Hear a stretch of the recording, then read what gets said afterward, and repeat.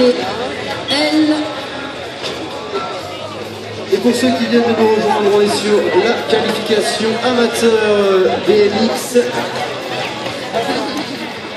Allez, c'est parti pour le dernier tricks d'Alex Geoffroy. Flyat Forever. Yo, loin backflip. Merci à toi, Alex. Et on enchaîne.